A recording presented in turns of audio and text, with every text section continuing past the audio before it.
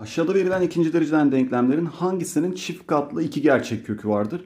Neye bakabilirsiniz? Deltasına bakabilirsiniz. Bir de şey yapabilirsiniz yani birincinin karesi, ikincinin karesi, birinci ile ikincinin çarpımının iki katı oluyor mu? İşte bakın burada deltadan da baksanız 3x eksi 1'in karesi olduğunu da görseniz olur. D şıkkı olur arkadaşlar. Çift katlı kök böyle tam kare olacak demektir. D şıkkı bu yüzden. M bir gerçek sayı olmak üzere M eksi 2x kare artı M kare eksi 4x eksi M artı 7 kökleri simetrikmiş. Kökleri simetrik demek birisi eksi a ise öbürü a demektir. Yani arkadaşlar kökler toplamı 0 demek istiyor size. Kökler toplamı 0 da nedir? Eksi b bölü a'nın 0 olmasıdır. İçler dışlar yaparsanız eksi b eşittir 0'dan b eşittir 0. b dediğimiz ne? Gördüğünüz gibi x'in katsayısı. Bu yüzden m kare eksi 4 0 olmalı m eksi 2 çarpı m artı 2. Peki buradan m 2 mi olmalı, eksi 2 mi olmalı? Eğer m 2 olursa denklem ikinci dereceden denklem olmaz.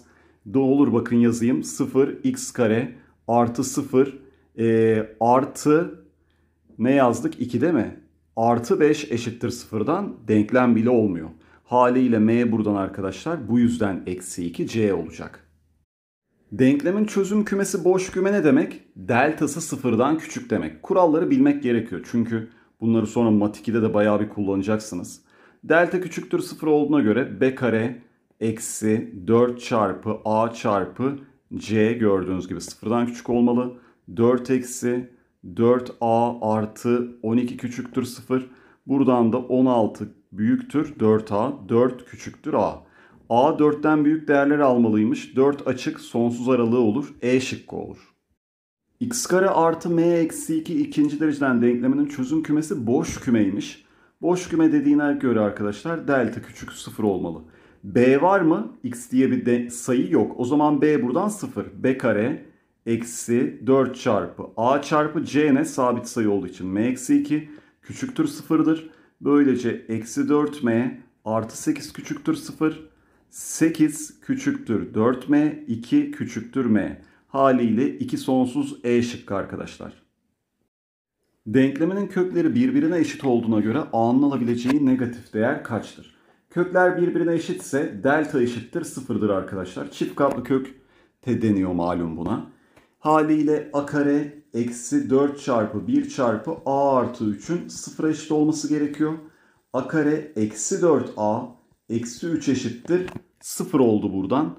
Şimdi şurayı hemen düzelteyim. Eksi 4'ü dağıttık ya onu yazmayı unuttum. Eksi 4a eksi 12 diyecektim.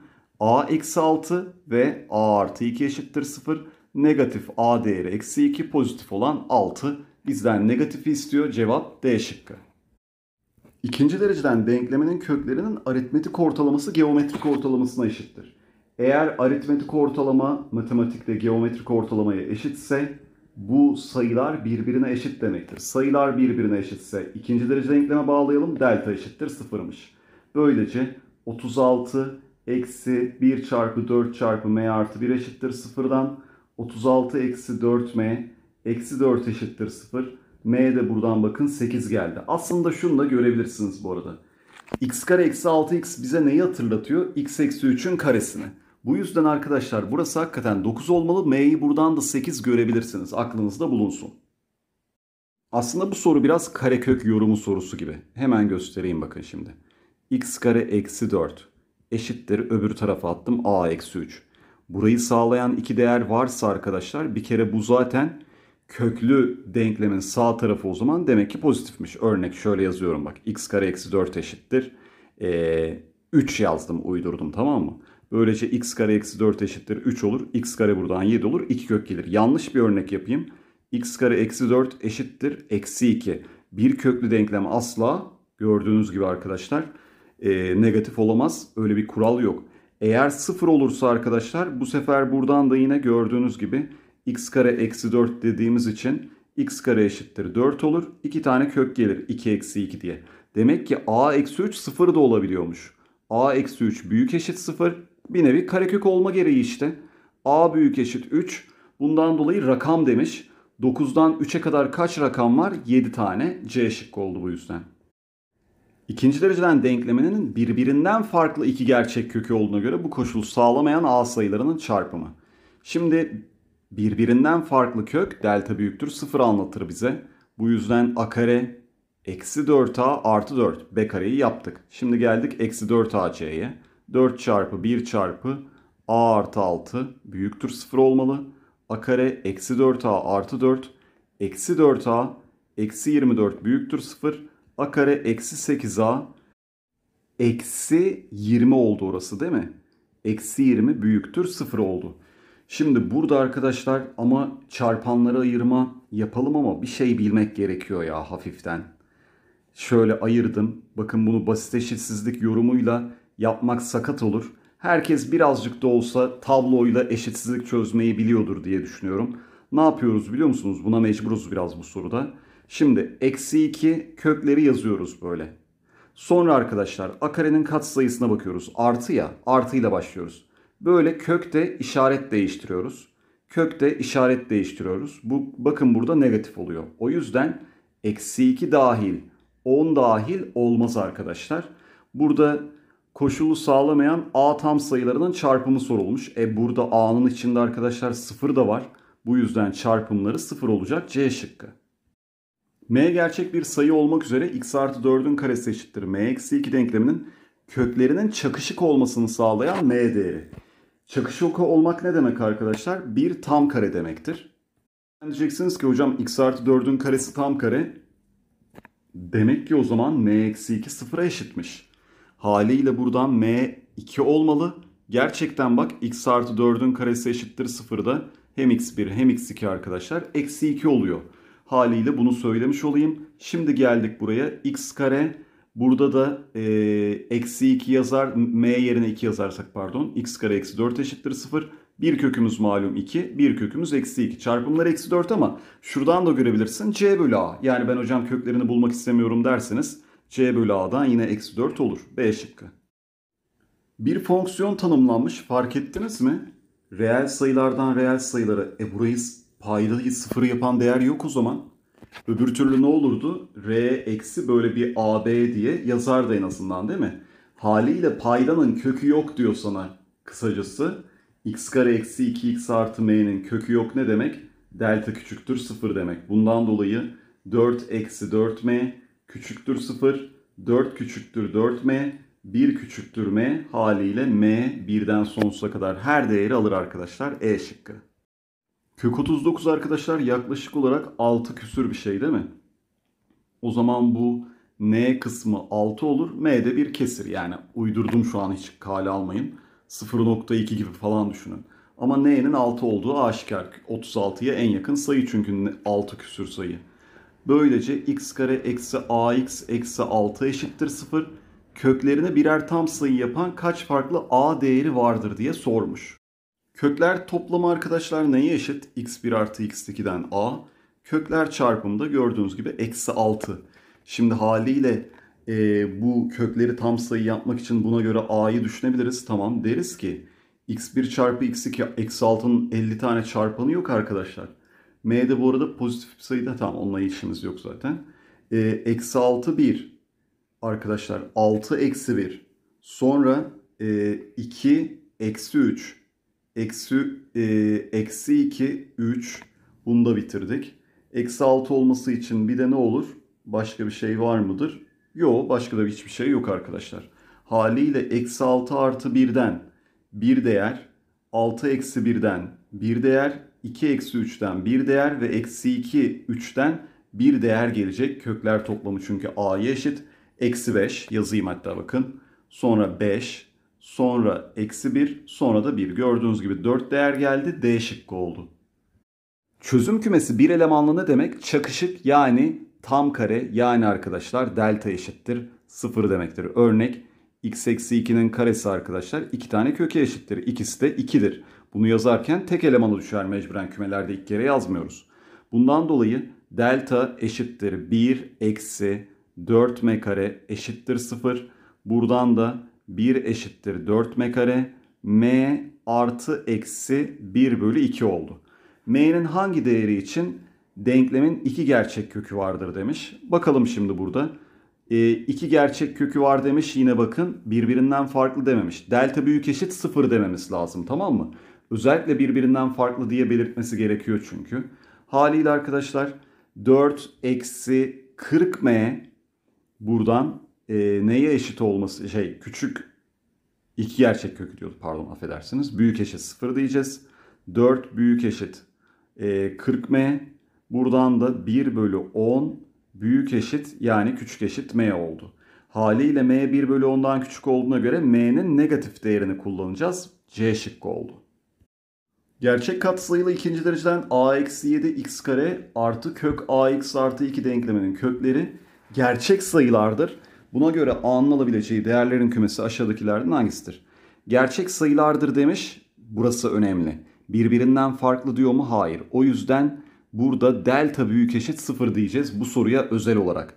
İfadeler bizim için çok önemli arkadaşlar. Bu yüzden bakın b kare eksi 4 çarpı a çarpı c böyle oldu. Büyük eşit 0 diyeceğim. Kökleri birbirinden farklı demediği için. Bundan dolayı a eksi 4a artı 28 bir de bunları 2 ile çarpacağız. 8a 56 büyük eşit 0. Buradan da eksi 7a artı 56 büyük eşit 0. 56 büyük eşit 7a. 8 büyük eşit a oldu. a böylece arkadaşlar 8'den eksi sonsuza kadar her değeri alacaktır. Ancak a 7 olursa arkadaşlar denklem ikinci dereceden denklem olmaz. O yüzden şurada D şıkkını yazmamız lazım. x kare eksi mx artı 9 nx kare eksi 6x artı 2 eşittir 0 denkleminin çözüm kümesini boş küme yapan m ve n sayılarının değer aralıkları a ve b'dir. Çözüm kümesi boşsa o zaman bu da delta küçüktür 0'dır. Bu da delta küçüktür 0'dır. M kare eksi 36 küçüktür 0 olmalı. Birazcık burada size tablo yöntemi yine göstereyim. Bakın arkadaşlar eksi 6, 6 diyeceğiz. Artı ile başlayacağız m kareden dolayı. Eksi artı. Yani eksi 6 ile 6 açık aralıymış bununki. Sonra arkadaşlar öbürü de 36 eksi 8 neye olacak değil mi? b kare eksi 4 ac. Bu da küçüktür 0. 36 küçüktür 8 ne? E, 36'yı 8'e bölersek 4'e böl 9 bölü 2 yani 4,5'tan büyük olmalıymış ne? Bunların sağlayan tam sayı değerleri. Birisi arkadaşlar 4.5'tan sonsuza kadar öbürü eksi 6 ile 6 arası. O zaman 5 olur. Başka da hiçbir şey olmaz. Cevabımız 1 olacak A şıkkı. A eksi B'nin karesi x kare B küp eksi 8 ve A eksi 4 B eşittir 0 denkleminin simetrik iki gerçek kökü vardır. Simetrik ne demek köklerde? Kökler toplamı 0. Birisi a ise öbürü eksi a demektir. Böylece arkadaşlar kökler toplamının sıfır olması demek x'in kat sayısının sıfır olması demektir. Bundan dolayı b 2 olur. Yazalım şimdi a eksi 4 çarpı x kare eksi zaten orası yok. E, artı a eksi 8 eşittir 0. Bunun şimdi simetrik iki kökünün olduğunu anladık. Bir de arkadaşlar ne söyleyeceğiz bundan sonrasında? delta büyüktür 0 olmalı diyeceğiz değil mi? Birbirinden farklı iki kök olduğu için. B kare yok 0. Eksi 4 çarpı a eksi 4 çarpı a eksi 8 büyüktür 0 olmalı. Buradan da e, a eksi 4 çarpı a eksi 8 çarpı 4 küçüktür 0 olur. Sol sağ tarafa atarsak.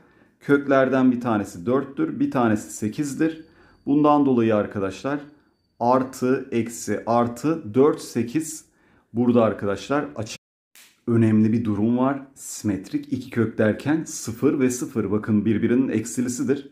Şöyle düşünün. 0 eksi 0 aynı şey. Bunların toplamı da yine 0 yapacak. Kökler toplamı 0 olması için o zaman haliyle 8'de de dahil edebiliriz değil mi? 8'i dahil ettiğimiz zaman neden 4'ü dahil edemiyoruz onu da söyleyelim. 4'ü dahil edersek Burası 0 olur. ikinci dereceden denklem olmaz. Bu yüzden. 4 açık olacak ama 8 kapalı olur arkadaşlar. Cevap bu yüzden C şıkkı geliyor. Hemen de göstereyim bakın size. Yazdım yerine 4x kare eşittir 0. x1 eşittir x2 eşittir 0. Bunların toplamı da gördüğünüz gibi simetrik iki kök toplamları 0 geldi. Tam kareli bir ifade demiş arkadaşlar bu ifadeye. O zaman bak Burada değişken direkt 2x dersek ayvayı yeriz. 2x eksi m'yi düşüneceğiz. Burada da 2x eksi m'yi düşüneceğiz. Bir nevi şöyle. t kare eksi 2nt artı n artı 2 eşittir. Yani bir sayının karesi işte. Bundan dolayı arkadaşlar haliyle ne demem gerekiyor benim? b kare eksi 4ac yani 4n kare eksi 4n eksi 8'in sıfıra eşit olması lazım. Buradan da n'nin alacağı değerler neyi soruyordu? Toplamını soruyordu. n1 artı n2 eksi 4 4 bölü 4'ten 1 olmuş oldu. A şıkkı gayet güzel bir soru. Soruda şu ifadeye dikkat etmek lazım bence. Tam kareli ifade demiş. Eğer şunu deseydi bak bu denklemin çift katlı kökü var deseydi o zaman bu işin içinden çıkılmazdı ama yapmamız gereken şey delta eşittir sıfırlamak da olurdu. Yani açardık böyle 4x kare eksi falan filan. x kareleri bir arada tutardık. x'li olanları bir arada, sabitleri bir arada.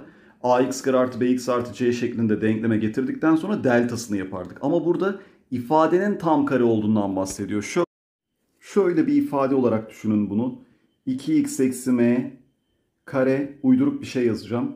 Artı 4 çarpı 2x eksi m artı 4 gibi düşünün. Böylece bu 2x eksi m e, artı 2'nin parantez karesi olur. Anlatabildim mi? Bu şekilde gördüğünüz gibi bir tam kareli ifade olmuş olur.